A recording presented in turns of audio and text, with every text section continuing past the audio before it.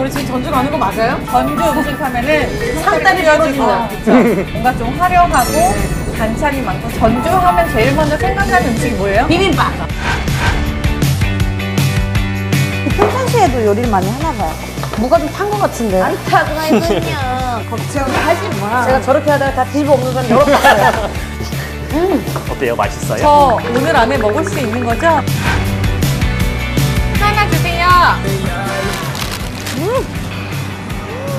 哇。